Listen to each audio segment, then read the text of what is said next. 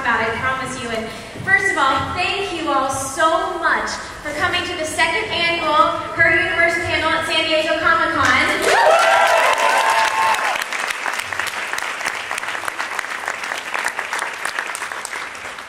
We just launched our company, Her Universe, last year at San Diego Comic Con, and I cannot thank you enough for your support. And this year, our panel is titled What Women Want in Their Female Sci-Fi Heroes. We started with Star Wars, and now debuting at Comic Con, we have our Sci-Fi Channel line. We have Battlestar Galactica, Warehouse 13. And, um, let's not forget his and her Sharpika shirts. Get them at the rock shop before they're gone, because I promise you they're almost gone. But uh, one thing, when I was doing research uh, to create her universe, one thing that was very important for me is that I didn't want to not only create a merchandise line, but I wanted to create a community for female fans. Because close to half of all sci-fi fans are women, and you know, there's still this stereotype out there that sci-fi is for the men and boys, and sci-fi is not just for men, it's not just for women, sci-fi is for everyone. And so I wanted to create a community to give fangirls a place for their voices to be heard. And a couple comments, not a couple, several comments that I found online and through my conversations with all the amazing fangirls I met is actually in the, the sci-fi characters, the heroines, some of our favorite female characters, and they said, you know, Ashley, if I could write or create my own female sci-fi character, I would write her differently than many of the sci-fi characters that are out there. And I thought that was an interesting conversation I, that we should have because, you know, I thought, well, then what do women want in their strong female sci-fi characters? So, uh, I'm not the expert, but I assembled a panel of experts here, and I want to introduce them to you briefly. Um, First, we have Chris Sanagustin, and Chris is a veteran creative executive in the entertainment industry. Chris currently serves as Senior Vice President, Development and Current Programming at Universal Cable Productions, where she oversees scripted series such as Sci-Fi's veteran hits, Warehouse 13, and Eureka, along with this summer's new original series, Alphas. Next, we have Bryan Q. Miller, um, also known as Q by all but his mother. Bryan is currently hard at work on an as yet to be disclosed project for DC Comics, and uh, has yet has also completed work on a full-length, graphic novel for a different publisher. Okay, which he unfortunately cannot disclose. Uh, an interesting buyer here. he's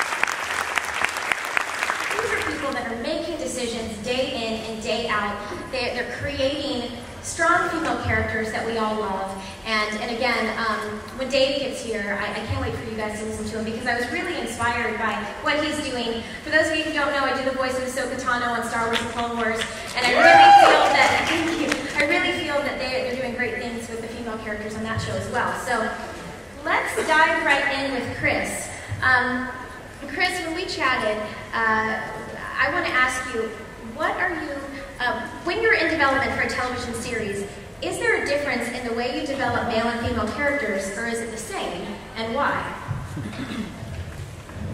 Uh, well, first I want to say thank you to you and to Her Universe, because I think by um, looking at this room, you can tell that what you're doing is really needed. And um, as a female fan myself, I'm really excited and wish you the best of luck because Her Universe is something that fills a gap that I think we are all eager to um, go buy our t-shirts, turn around. Yes, everybody has to see our new Battlestar Galactica shirt. It has the red right. Battlestar fans number six shirt. And our toaster necklace. um, so, okay, so thank you. Thank but, you. And thank all of you out there because uh, all the girls are speaking up. And they can't, they can't ignore us if we speak up, right? um, I think for TV development at least, um, you know, the thing that I love most about television is you're inviting characters to come into your house. It's a very intimate experience, I think. When you're watching television, you're at home, you're inviting these characters to come back over and over again in series TV. And so the goal is to create characters that are relatable and people that you want to see on a week-to-week basis. You want to, these people become your friends. I think it's one of the reasons that people feel so comfortable with television actors and television stars. Um, and I think the the approach to the development of female and male characters, at least where we work, is really about making accessible characters. I don't think we really start from a place of gender necessarily, but we definitely start from a place of making sure that these are characters that are relatable. I think some of the most memorable characters that we've developed um, at our company are female characters in part because of the complexity um, that our writers and our creators have really approached the development of many of our characters with. But uh, one of the most recent experiences that I've had um, that I thought was applicable to today's panel was uh, we were developing a project called Battlestar Galactica Blood and Chrome. It's really awesome. and um, David Eick and I were on the phone, and I was driving in my car and talking on my cell phone. We were talking about this um, character who's, you know, an admiral and the ship's going down and the ship blowing up and who am I allowed to say that? so stuff's blowing up. Maybe under the age of 18. Oh, yeah. stuff is blowing up. and we were talking about this moment and I said, have you ever thought about making the Admiral a woman? Why? What I love about the original Battlestar, well, not the original 70s Battlestar, because I was too young to watch that show. Um, what I what I love about Ron Moore's reimagining of Battlestar was that um, there was uh, no gender politics, and it was very you know there was a lot of sexual equality, and um, it it actually changed the scene. He's he actually David Eick was like. I hate when you say something that I wish I thought of first. And it was a wonderful moment because it actually changed the tenor of the scene when the commander of that particular um, Battlestar was a woman and she had to like give the command to, well, I don't, you know, spoiler alert, um, um, to her, to know what happens. to her, you know, lieutenant, and it was just a, a really powerful moment. But I think because we made her a woman and we didn't approach it with any sense, of, I mean, we didn't change the dialogue at all. We just changed the gender of the character. Uh, it became a much more interesting scene, to be that's fantastic. And I have to say, I'm a huge Battlestar Galactica fan, and I loved it. The fact that Katee Sackhoff Starbuck was amazing. So, awesome. Yes. Actually, Dave Filoni just walked in. So, Dave, you didn't hear your applause before.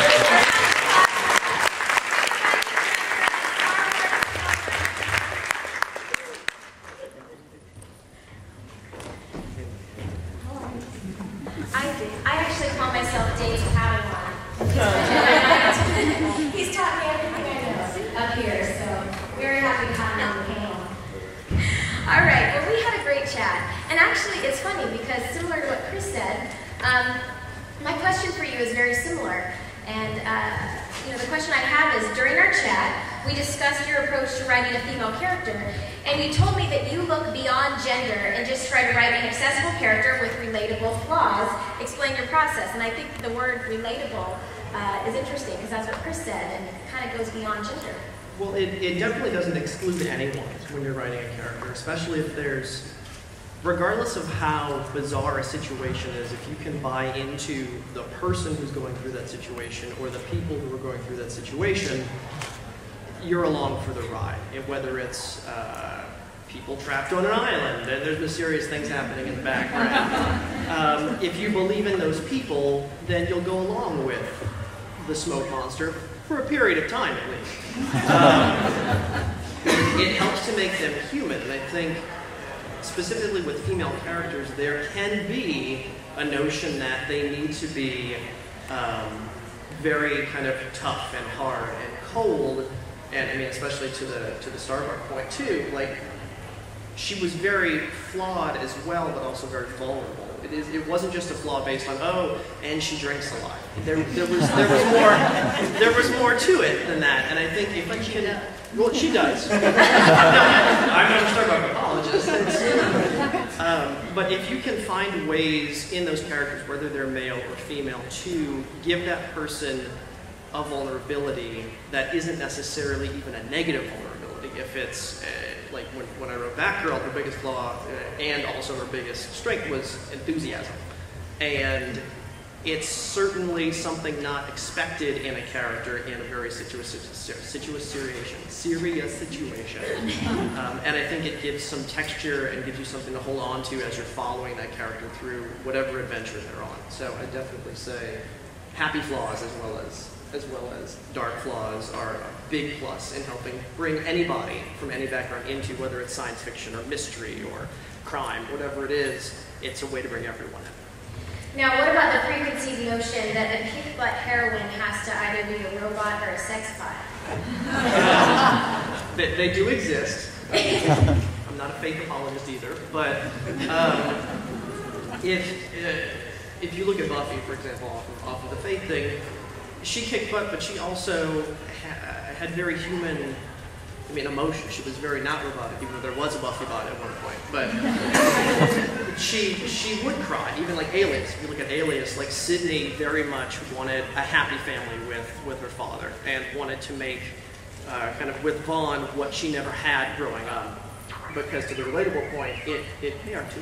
Uh, to the relatable point, it it helps you roll along for the ride. Yes. Awesome. Well, round of applause for Bryan Kuber.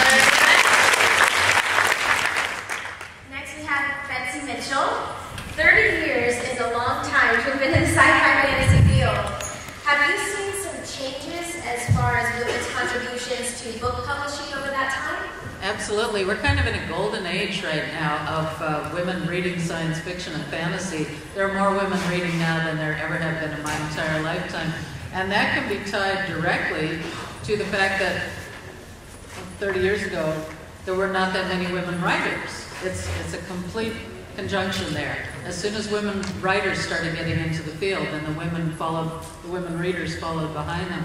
In the old days, women, if they were writing in the field, kind of had to sneak in through the back door by using initials in their name, like C.L. Moore or Andre Norton, who was one of the most beloved writers of all time. You know, that sounds like a guy's name. And uh, that was the only way women could get published up to a certain time. And then female editors started coming into the field. I have to say that editors as well were a huge influence on bringing more female writers in. Some of it started happening during the feminist era, the 60s and 70s, when you had Ursula Le Guin and uh, Joanna Russ starting to write. And then in the 80s, a whole new slew of women came in. And they wrote a social, kind of a social science fiction. It wasn't the hard science fiction. It wasn't taking spaceships to a far distant planet and conquering it, which was what a lot of the previous science fiction had been. This was examining different societies, maybe by means of, of alien planets. Uh, there were a lot of utopian stories being told, um, authors like Sheri Tepper, um, just women experimenting with what would happen if you know, there was a planet all, of all women. You know, something had happened to the man, or the men and the women had been separated. What would life be like then if women had to make all the decisions? Would we still have wars? Uh, so that type of science fiction started growing in the 80s, uh, and then more young women came in. It's just been a whole different scene. Um, women talking about sex from their own point of view, you know? It's a whole different story when you're reading it from a, a, female writer's point of view. So we really are in a, in a fabulous time. You, you can't imagine how different life was just 30 years ago. We also talked about that many of today's top-selling book series fall under the urban paranormal genre. Mm-hmm. Now, aren't women both the main producers and the main audience for that category? Absolutely, and that can be uh, keyed, I think, to Buffy. Buffy's really what kicked up that whole urban paranormal genre. Um, and some of them you were talking about sex bots or robots. Yeah, that's. But there's such a range of urban paranormal now, from the, the very sexy stuff like Laurell K. Hamilton to the Kim Harrison Hollows series, where the two char- the main characters are female, and it's the tension in their relationship, the living vampire and the Earth Witch, and it's the tension between the two of them, some of which is sexual. Um, so you get that whole stripe of urban paranormal. But yeah, that has been such a huge contributor to the coffers of publishing in the last 10 years or so. Round of applause for Betsy Mitchell. Next we have Gail Simone. And uh, Gail, do you feel that the portrayal of women in comics has improved? And what do you think they could be doing better to attract more female readers? Um, well, first of all, there's a couple things. I do think it's improved. Even what I'm so excited about today, and I get more excited every year, is when I first started coming to conventions about seven, eight years ago. Uh, the first convention I ever attended was San Diego Comic Con. I just started writing at Marvel. I think I only had one or two books out. I'd done some Simpsons stuff. And um, there was not nearly as many women attending the convention then as there is now.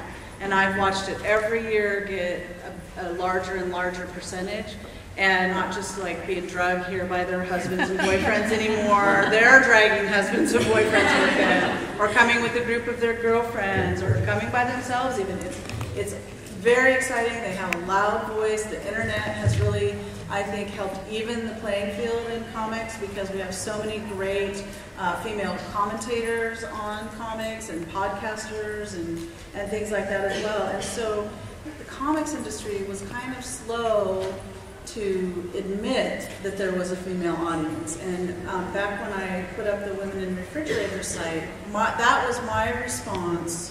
For those of you who don't know, it was a website that was my response to people all asking me all the time, well, why don't women read comics? At the time, we had come through this period where the female characters were really being murdered, depowered, stuffed in refrigerators, um, used only as plot tools for the male characters and then they're and the industry's up in arms. Why don't we have female readers? So that website was my response to that.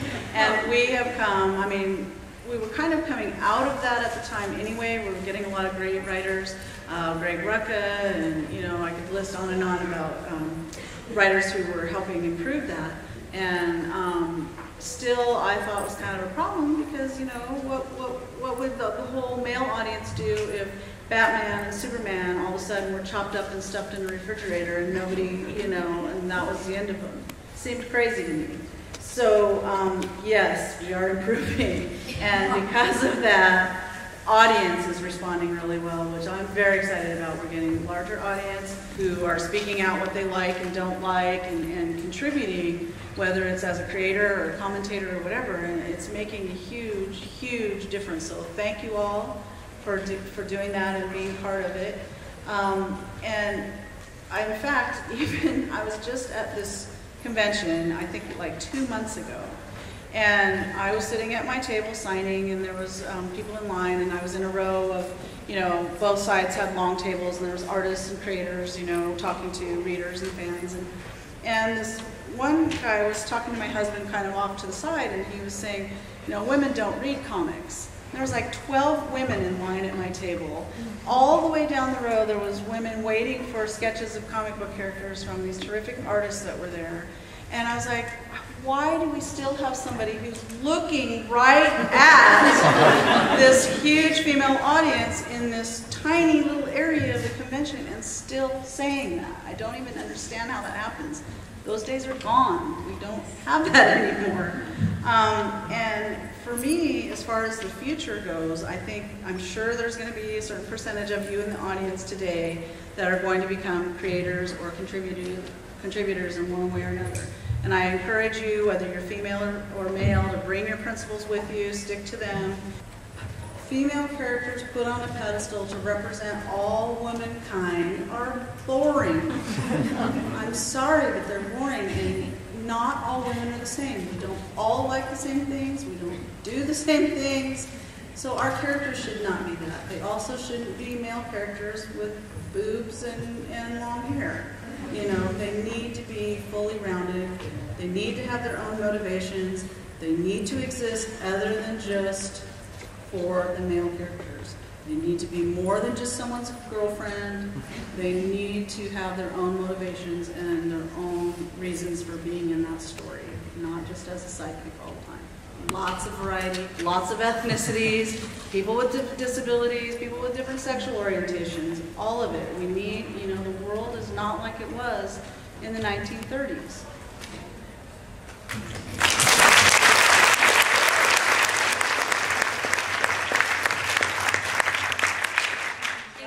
soapbox. No, that's amazing. I have to say congratulations because clearly I think after you wrote that list and now with everything you've achieved, you know, do you ever check off the boxes like, okay, I'm helping make that change and helping make that change? That's, congratulations. That's amazing. There's nothing else to do. That's what I mean by bringing your principles with you. Don't leave your principles behind when you come into the industry. And you know, one thing I have to say, uh, kind of to what you were saying and how people are ignoring that the women uh, want the merchandise or that the women, they just ignore them. Uh, we just sold little girls shirts for the first time. And I remember I went into the store and there was, it was full of little girl Ahsoka fans and there was absolutely nothing for them. And everyone said, oh no, they won't buy it. The girls, they will not buy it. And so for the first time, we just offered little girl shirts at Disney and they all sold out right away and they were begging us for more. And I have to say, as adults here, how many of us, when we were little girls, were probably ashamed of the fact that we liked sci-fi because of that stereotype that it was for boys? And we weren't as confident to come out and say that we liked sci-fi. And now, I think many of us as adults, uh, we're more confident in it. And now there's tons of little girl fans, and I think people, Gail, actually, all of you up on this panel, you're, you're such positive influences on all the little girls that are sci-fi fans that are going to have an easier time because of the road that you're paving. So congratulations to everyone up here. I think it's neat too. I mean, to have the choice of products that are built for women that obviously have a female shape or you know things that we like as well. And uh, so thanks to you for doing that. Thank you. There was well, we're trying. We're trying. Because shirts do uh, come in other sizes besides tween sizes. So we're trying. okay. Did you, uh, do you remember hearing recently about the little girl who was bullied at school for being a Star Wars fan? Yes. We were able to get one of our female Star Wars writers to send her an autographed book and say, you go girl. And we just did everything we could to help support her because little girls are still going through it. Exactly. And I think what made everyone respond to that story is because we all related to it. So um, I think that's why that story just went viral. Well, not only that, I remember as a little girl, I loved Batgirl and Catwoman and stuff, but I wanted to roleplay Batman because his mm-hmm. character was so well drawn, so fully developed compared to the other characters that that appealed to me. And so when I started writing some of the female characters in the Bat verse, it was kind of like, I would like a young girl to want to be Black Canary or be Batgirl or one of those characters and not just think that Batman was the only really cool. Well, it's funny because this leads us right into my conversation with Melinda. And Melinda, we chatted about how you were a little girl growing up in Maine and you felt different and you were shy. And, you know, um, that leads me to my question because as a little girl growing up in Maine, you told me you were a big fan of the sci-fi and fantasy genre watching Star Trek and reading Dragonriders of Pern novels. And you said that you were drawn to the fact that in these stories, So, uh, you know, we also talked about some of your favorite female sci-fi heroines, past and present. So, talk to us about your experiences and some of your favorite, uh, favorite female characters. Well, I did kind of hide in my bedroom all through childhood because I grew up in Bangor, Maine, which is a very small town, and everybody was great to me, but I was very timid, and I was one of the only non-white people in the state at that time. literally, literally. I think that the population of minorities dipped when I left. And so I was kind of constantly reading The Lord Rings over and over, or Star Trek books, and I was writing Star Trek fan fiction as a little kid, and I was like oh, going up to the Enterprise and visiting planets, and you know, I, I had this kind of escapist desire from it, but it's also something that I really felt like, oh, if I were different in space, I would be bringing something to the party, you know, where it didn't feel like that way at my school. And I think that that's why I gravitated to those sorts of stories, and, and I love science fiction and fantasy anyway, because I love those stories, but I'm also still attracted to that sort of thing now, whether I'm writing for a post-apocalyptic show or whether the current show I'm is more about interconnectivity all over the world. And it's kind of like this It's Wonderful Life vibe where you don't think that your little choices make a difference, but they actually have a huge impact on somebody you've never even met, and it's a cool show. But the point is that I love those sorts of things because they make me feel like I could be better than I thought I could be. I could rise above. I could make a difference in somebody's life. I could be a hero myself, you know? I also encourage any young women writers out there to keep writing and to feel like I could, you know, get to publish someday or somebody would want to read this story or that, you know, if it's on the internet and somebody would respond. I think one thing you have these days instead of, you know, the isolation of your childhood bedroom is the internet, which is awesome. You know, you can go on YouTube and watch these things and you can blog and you can chat and you can comment and tweet and just learning about all this stuff. It's very exciting. It's kind of like, it's a way to reach out to other people and feel like, because there are all these other people who like the same things that you do. It's so cool to go, for instance, we were at Lego the other day, and they made this mini land out of different vistas of there's like Hoth and there's Tatooine and there's this little, um, you know, there's an AT-AT at, at those big things, and Luke Skywalker's dangling off. It's like this big, you know, he's a Lego. He's hanging on a little string, and some kid goes by in a stroller in Spanish. Ahí está Luke, you know. the world understand. So whether it's, you know, a male or a female character, I think that science fiction and fantasy has that ability to reach out to people and really grab them. You know, also, what is one of your favorite female characters? Oh, well, Starbucks too. I love Starbucks. I love um, Ripley, um, and also I know if we found this Persephone from the uh, from the you know the and also um, you know currently I'm going to expand it to fantasy. I love Daenerys and Arya on Game of Thrones. I'm huge Game of Thrones. I also you know I really love Lessa from the Dragon Riders Return, and all of these have this kind of Cinderella element. Which on the one hand I'm kind of conflicted about, like, I know you shouldn't want to be rescued by a man or, you know, end up with God or whatever, but it's kind of awesome in it too. But she starts out, as this character in the Dragon Riders, as this sort of, she's hidden because her family was slaughtered around her, and she's been in hiding, she's been plotting her revenge, and she finally kind of gets there. Um, and saves the world. That's kind of the nutshell of the first book. But it's a really terrific book, and, and those are the sorts of heroines that I responded to. It wasn't somebody's sidekick or number two. I mean, these were the people who were taking charge of their own destinies. Next, we have my personal Jedi Knight, Dave Filoni. He's responsible for all of this. Uh, he actually encouraged me uh, with her universe, and I ran crazy designs by him when he thought I was crazy. I made a bedazzled hat for his wife, and he's like, "What are you doing?" and the next thing you know, he encouraged me to, to do this line. So, um, you know, we worked together for six years, Dave, and I feel that we chat about this stuff all the time. But you know, as the supervising director of Star Wars: The Clone Wars, you have obviously developed so many strong female characters, one being Ahsoka Tano. And uh, take us through your process of developing a new character. Female character. Yeah, I mean, I guess the biggest thing is it never occurs to me that they're, they're female. I mean, I, I wouldn't know. I didn't, when we started with Ahsoka, it was really difficult for me because I was kind of worried that I have no experience writing that. I don't know what, what this girl might think, but I, I kind of learned over time it didn't matter because she's just a Jedi. That was the most important thing.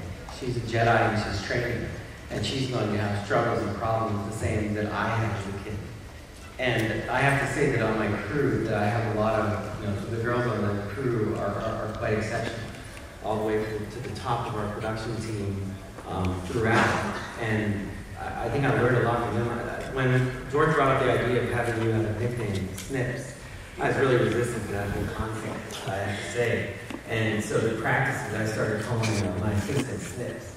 And I would see whether she liked that or not.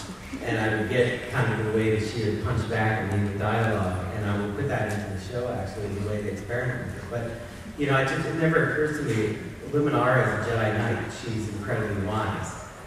She's a woman, you know. Some of them are quite attractive. But that doesn't ever factor into it for me. I just, they have real problems. They're fighting a war. They have the same issues that any general would have leading the soldiers. So I, I try to go about it from there. And I also say my wife Anne is a really great springboard for any ideas I have in there. Um, you know, she's, she's very read, far more than I am. Um, so, but like you, I, I think Eowyn, I have to say, was a huge, huge thing for me as a kid. I remember reading Return the King when I got to that point where she slays the Witch King. I remember rereading that page because I was so shocked as a little boy. Because I was like, really, the Witch King? and I looking back, I think it's sad that that was my reaction in a way, but it made me reread it. And it made me think about why is that? And here you have a character, it doesn't matter, she's female, and, but because of that, she's been judged by her peers that she's in this kind of caging. So she's so ready and accepting of death that when she faces death there before her, and everyone else is human is afraid to lose their life, she's not. And like the other panelists were saying, that's a real dilemma. It doesn't matter that she's a girl. But the funniest thing about the scene is that when the Witch says, no living man may hinder me, and she's there, she's like, well, guess what? and she takes her helmet off, and her hair spills out. I mean, that that's a really inspirational scene, and she's an incredibly inspirational character. So, um, yeah, I think that that probably affected me. You know, I, I hope I do right. I think I've, I've done right by your character. I like to think so. The same amount of thought we give to Anakin, it's not that different.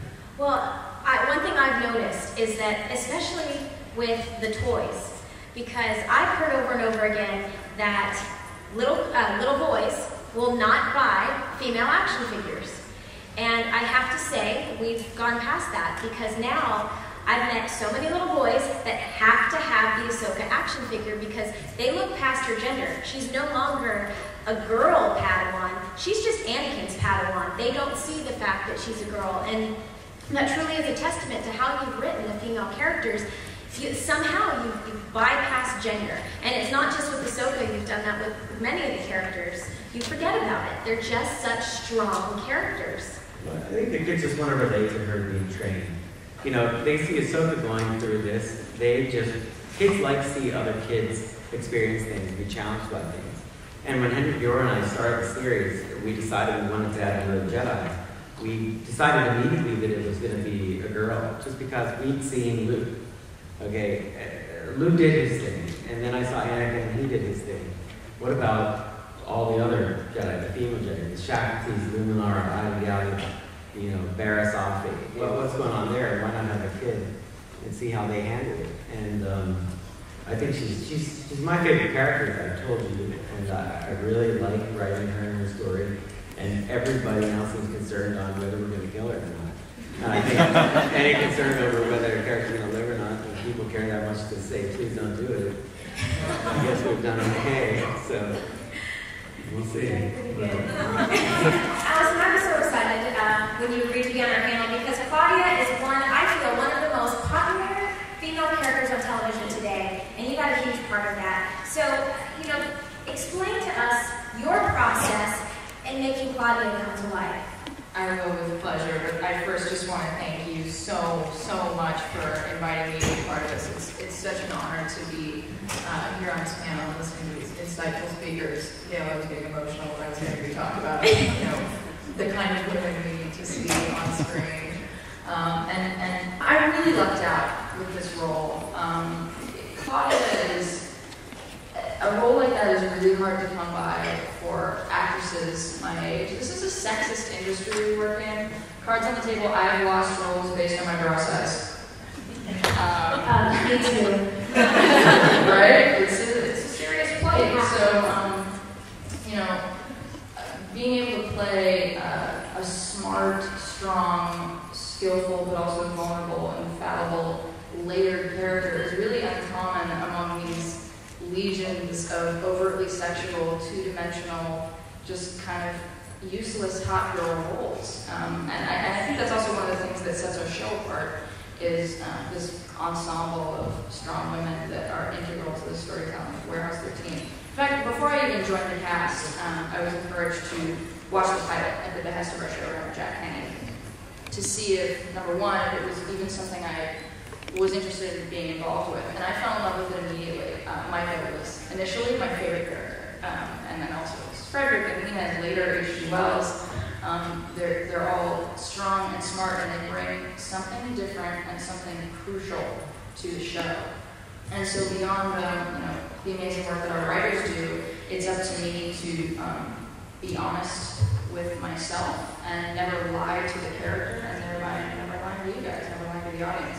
I'll give you an example. Um, at the beginning of filming season three, just this past February, for whatever reason, I was so nervous. I, I was a wreck. I was having like heart palpitations before filming and just overwhelmed by the props and the dialogue and all of it. And, and I went to Saul Rubinek, who plays Artie, who has been a mentor to me uh, from day one. And I told him how I was feeling, and, and he was like, yeah, yeah, yeah. so, uh, so you're, you're kind of insecure, you feel you prove yourself to uh, the authorities in your superior grounding.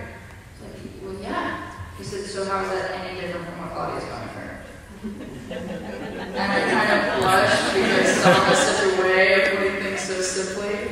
And I think that was the best piece of advice that um, I've received all year. So, so, so now when I um, approach a day on the warehouse, I, I, just show up. And if I'm feeling um, angry or curious or ambitious or excited or confused, um, I let that breathe within Claudia. Because for me, um, the thing that makes a character relatable really to this theme that we've been talking about, is um, how realistic they are. I, like to, I, when I watch Walking Dead or Game of Thrones, um, and I recognize a quality um, in Arya Stark that I recognize in myself or a friend, um, that's what makes me connect. It's an honor, and I have so, so much fun doing it, and our, our, our diverse writing staff really just listens to us as a cast and um, and me as a budding feminist. so, um, you know, I hope that um, roles like Claudia and Myka and and uh, all these amazing, well-rounded chicks continue to uh, crop up and, in, successful and also under the radar projects. I've, I've gotten um, a lot of really amazing feedback from young women that brings tears to my eyes every time I read it. Um, because I was that insecure, you know, kind of offbeat alternative girl in school who liked Star Wars and, you know, oldies radio. Me too. right? I have to say one thing that I love about Claudia is just how intelligent she is. You are proving to young girls that it is so cool to be the smartest one in the room. And I have young nieces and nephews, and one of my nieces is in, actually going into high school, and she's in the math club. And actually, uh, my sister-in-law's in the audience. She she just topped uh, like third place, and she she got a really high score. And I'm a bad aunt right now because I can't remember what place she came in. But um, it's it's the fact she's a really smart young girl, and in the past Sometimes you hide your intelligence.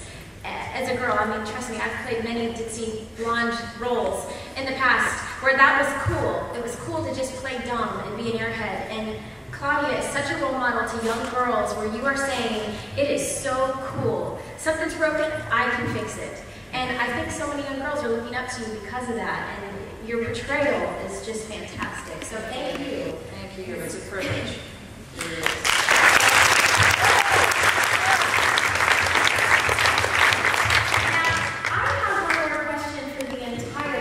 And just pipe in, and this was actually from a conversation I had with Chris St. Augustine, but uh, since we have comic books up here, novels, uh, TV, animation, um, is the iconography of women in sci-fi approached differently in a live action series versus an animated series or in comics? Uh, and Let's talk about that for a minute. Um, I'll start with one. Just uh, so we all know that sex sells. Um, and one of the things that I found really fun in this year's Warehouse 13 is six. Is it episode six? Yes. Play Act. We actually make fun of the iconography of women In video games. in video games. So that's not one that you listed, but we're all genre fans, and so there are gotta be gamers in this audience, right? Um, and y'all like big boobs, apparently. There's no So- gravity in video games. Unless they're bouncing. and there's the girl size again.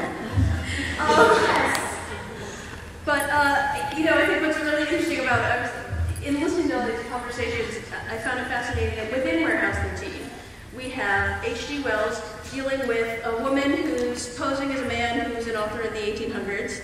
And uh, so that kind of strikes a chord with something that um, was said earlier. And then we do play with the iconography, I think, um, not only in player, but I think also in HG's adaptation, um, because she's a woman not only out of her own time, but who's really had to deal with being of a gender who uh, was quite, you know, suppressed uh, in the turn of the century. So um, I think we've really explored that a lot in, in that series in particular. Don't sell yourself short because you're also hot.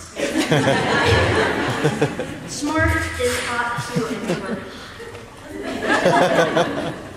that counts twice because I'm lesbian, by the way.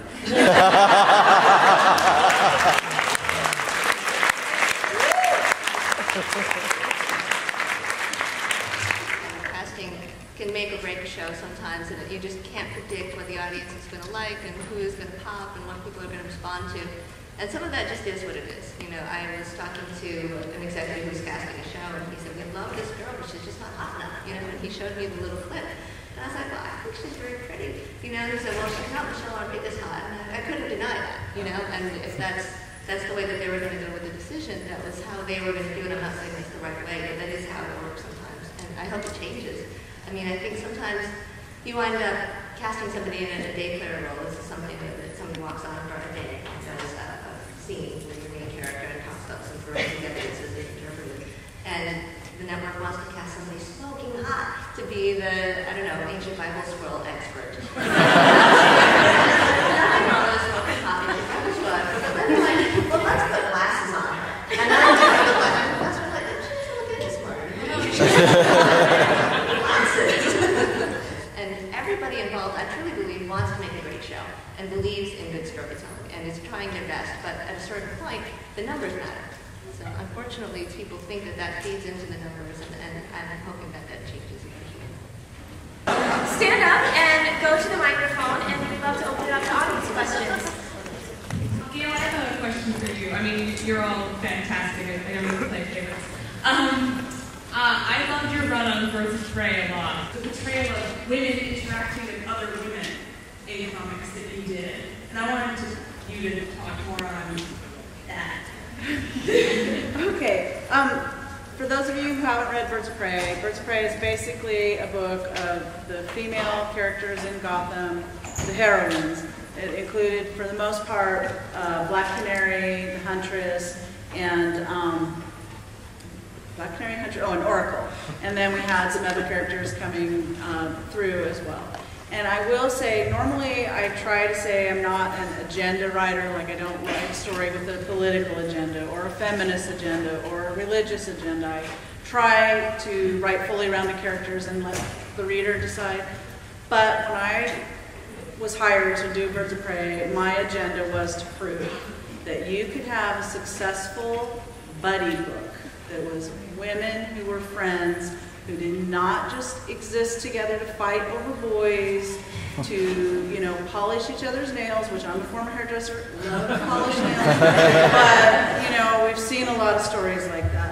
And I just really wanted to prove that you could have a group of women that were friends, that had different ideas about what they were doing and how to go about it, but in the end, they got along and they would, um, you know, step in front of a truck for the other character. And so I thank you for reading that and noticing that, but I, I think up until then, there hadn't really been a lot, a lot like that. A lot of buddy boy books, but not so much girl books. Well, thank you for writing it, because I feel like that took longer than reading it. so. Hi, I'm a sci-fi writer, and I've heard two sentiments that I've had some trouble reconciling. One was what Gail was saying about uh, the best female characters aren't just men with boobs, but then, like Dave was saying, it's it's best to write female characters that uh, you're just looking at people, and you're not uh, writing some special woman that is that's different than a man. And I, I don't really understand how those two can fit together, but I've heard them from a lot of different perspectives. So I was wondering if you could help me reconcile better.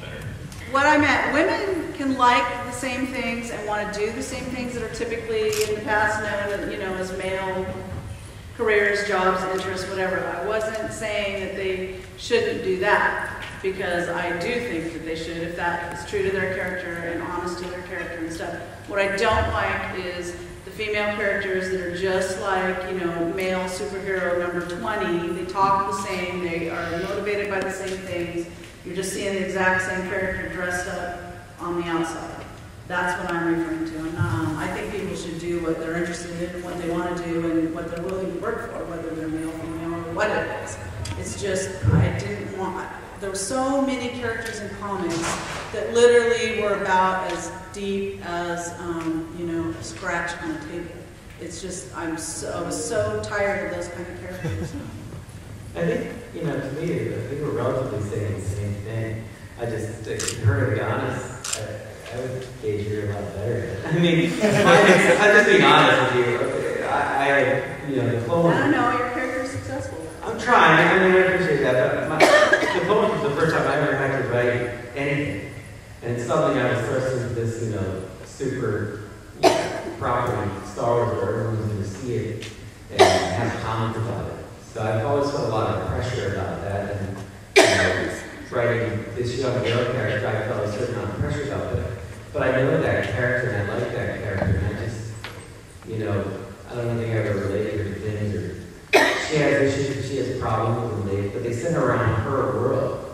So I just tried to have to get into the head of her, you know, into her world, and what are the problems that she would have. Probably this very similar problems that I would have, but um, I, I wouldn't just, you know, if I made a villain, I wouldn't just dress her up in a female kind of version of Darth Vader and have the same story. She would have to be different than me in her own ways. Um, we just created a, a Mandalorian warrior who's a, a woman, which is kind of a first in uh, the kind of theatrical Star Wars uh, releases. And I really wanted to do that. Um, you know, I'll, I'll admit, part of my motivation is that a lot of times our girls go to Comic Con and get dressed up. Um, my question is for all of you, I guess. Um, I've noticed that a lot of female characters have been criticized and put down for, you know, like dressing in sexy outfits or wearing fishnets or short skirts or whatever. And people say that it's objectifying and a bad example, but where do you guys draw the line between empowerment and exploitation? I'll take it. That sounds like a thesis statement. Now, you have to understand, I'm not speaking for all people, all women, or anything like that. I have a pretty high tolerance for what we call cheesecake, if it's honest. I don't like things that are not honest. I don't like things that are just close-up penthouse pose of, you know, any female genitalia or whatever. I like the fully, and I believe that there's all different types of sexy. Different body shapes, different colors, different attitudes, different charisma, glasses, no glasses, black hair, blonde hair, I don't care. Um, but I think, you know, if, if, if you're having, and these are, this is a visual medium, we're all working in a visual medium, we can't deny that fact. But I think that for me, it's honesty, truth to the character, not boiling it down to just body parts. Um, and that's kind of how I feel about whether it's exploitive, whether the character exists only for that, unless that's, you know, part of the story. Um, I- is, is a big thing for me too. There- But I like them to have more to them than just that, because I don't know that many people, no matter how beautiful they are, that have no depth whatsoever. Mm-hmm. I also think it has to do with how the camera treats them sometimes. You know, I'm- I'm mm-hmm. thinking of some of the summer movies where a very beautiful woman would be in a very tight dress, and that's fine, you know, you've got to work it. But the camera would kind of go like this, you know, and the music would slow down. And zoom. Oh my God, nothing else would be happening in that moment on the screen, literally. And also, then you have somebody like Christina Hendricks on Mad Men, who's gorgeous and very voluptuous, and she's just doing her thing. And she's, you know, beautifully outfitted and, and very curvy. And part of her, you know, character is that she is this very dynamic female, and she kind of uses that on men. But there's nothing about it that to me feels exploitative. It feels like she's of her time, and that's an essential part of her character. Well, and her character chose to do that. Yeah, She was true. not exploited upon. That's a big difference for me too. Right. She used, she used, yeah, Christina Hendricks' character uses her, um, her sexuality as one of her most powerful qualities. I, you know, we're all sexual creatures in some way, and, and I don't think that we have to uh, deny that side of ourselves in our expression to prove our, our intelligence or anything. But like, what you were saying, Joe, we're not the sum of our uh, attractive parts. We're not just a pair of, you know, legs and a, and a tiny waist and, you know, long flowing hair. Um, we may have all those things, but there's a, a person in there with abilities and, and problems and a history. And, uh, you know, some, a lot of projects just hang a lantern on the physical aspects of women. I was actually listening to a really hilarious podcast uh, by Paul Scheer and Paul Rust, a bunch of funny people, and they were talking about um, this sort of random uh, girl falling out of the, the bed of a superhero in these big movies like Iron Man, the movie they were reviewing was Green Lantern, which I haven't seen yet. And they both said, I want to see a movie about these girls who are just in Tony Stark's bed in the beginning, and then you've never seen it again. You don't know her name. They're just like, oh, that girl that he was sleeping with in the beginning of the movie to establish that he gets what he wants. But Yeah, and there has to be a girl, yeah, there has to be a girl that he slept with and dumped in order for him to grow as a character. We've definitely gotten past the stage in uh, book covers where for a certain period of time there were these completely unrealistic costumes that women were put in, mostly on books written by men. They'd be in these tiny little outfits when they were supposed to be going out to battle, so we called them battle nighties. so when women started writing the books, they made sure that things were a bit more realistic. When I see uh, one of our kick butt, her- kick butt heroines, though, wearing spike heels, I just I can't understand how she's going to race down the street and then kick butt. One of the favorite things about Warehouse, Warehouse 13 is that the women actually outnumber the men. And it's not just that there are really strong female characters like in Battlestar, there's Starbuck, but she's still overwhelmed by a ton of male characters. So I'm wondering if there's anything different about making a show where the majority of the characters are women. really what I struggle with on, on the show is always trying to keep a, a greater sense of diversity. Um, because I, I feel like our core characters are so well established, and as we introduce new people into the warehouse, and I think as, as you look at the expanding universe, right, of the warehouse and Mrs. Frederick and Leena, and now um, we've got some other characters coming in too, but I, I, I don't think that we necessarily approach it um, with an eye necessarily toward women, but I know that Jack Kenny, who is our showrunner, um, A, writes women very well, has a tremendous amount of respect for women, and um, is, I think, a little bit fascinated by um, the differences in how women carry authority. And I was fascinated and, and thrilled when they chose to make H.G. Wells a woman. Um, and it was a complete twist, and we had to get a couple people to buy in, but I think it was, it was really smart. You're amazing. Thank you for coming to this. I need to do one where I'm not seven feet tall. How about that?